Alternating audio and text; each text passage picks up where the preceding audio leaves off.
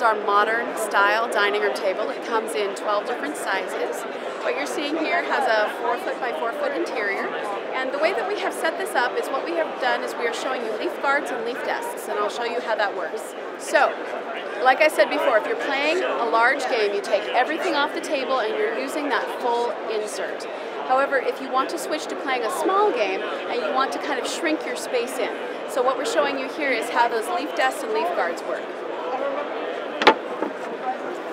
So this would be one of the hardwood leaves that we've left on the table. And this piece actually hooks onto it. This is called a leaf guard. And it hooks onto the tongue of the leaf.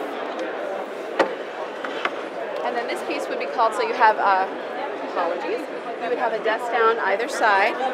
And then this piece would be the leaf desk that actually comes out on the end so that you can actually have that entire circle of desks around.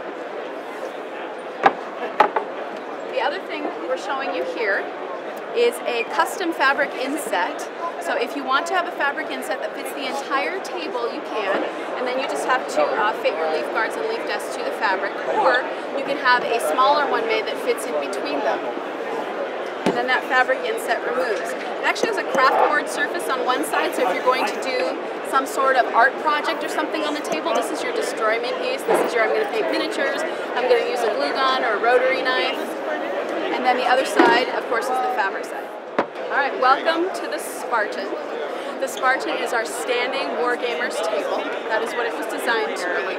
You can use it, of course, for other games, but that is what its uh, best option is. It comes as small as 4x4, and it comes as large as 4x8 standard, which also means that you can have them custom made. We've made one, for example, that was 4x12.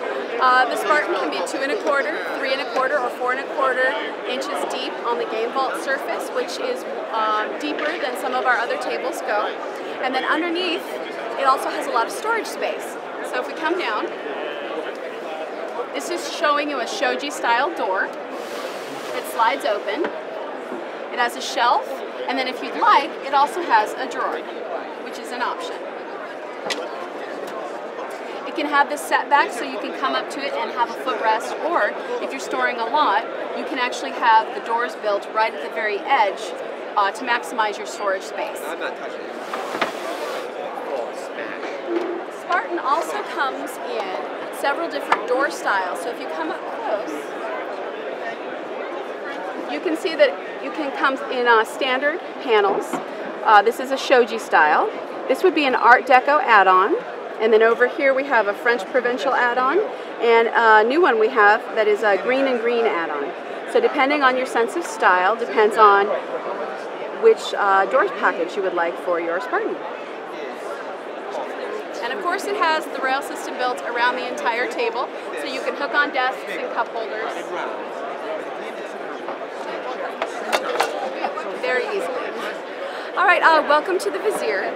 The Vizier is our most luxurious uh, dining room table. It takes some of its cues from the Sultan.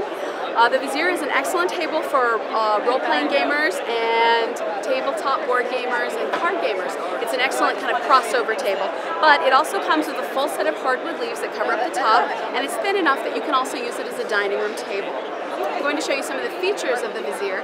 Uh, the fun part about the Vizier is it doesn't push you out as far as the rail desks do because when you flip open the stations, it only pushes you back another six inches, and this false panel here actually comes out. There's a drawer.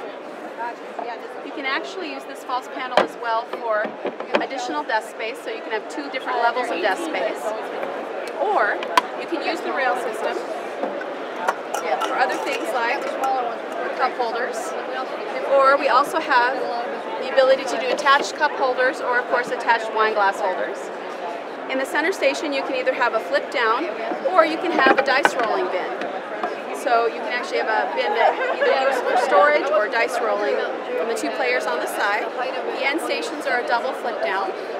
Vizier comes in uh, several different heights and about eight different sizes. So on most tables we ask, you know, how many, what's your group size, how many players are you going to play with? On the Sultan we take a different tack. We say, how many people do you want to play with? because based on how many stations you have is how many players you will have no matter what size your group is currently. This, this table For the Sultan right now, I'm showing you the uh, GM station. So the GM station can be on either end. Has a rail system right here and a very large storage drawer. It's actually three inches deep. And the rail system, you can hook on cup holders there. We actually have a dice roller built into it here. This is an option, so you don't actually have to have a dice roller. Some storage in the top. Let the dice roll down. And that way none of your players actually see what that roll really is. Should be a full plastic.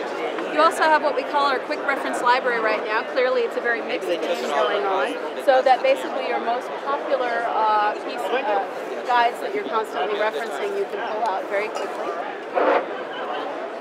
And then, so that's the GM station. Around the side, I can show you the player stations.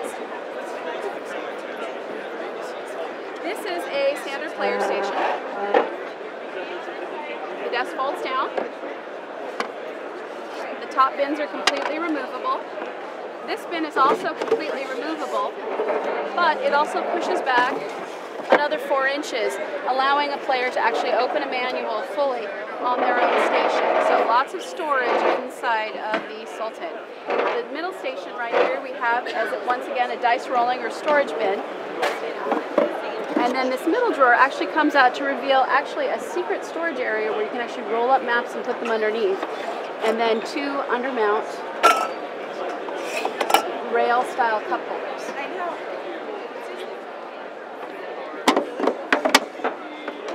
And then we have another player station right here, which is identical to the one we just showed. You can have the option of actually having a little rail built in right here in the corner if you need extra cup holders or extra uh, hook-on rail accessories. And then on the end here, we're showing you, uh, we call this a Highlander version. Uh, this is a double player station, so you can fold down both desks. And each one, once again, has that full three-inch drawer and the rail system built in here for cup holders and bins and or wine glass holders. And this is just one of six versions of the Sultan that you can get. You can have six, seven, eight, nine, or ten player stations built into the Sultan.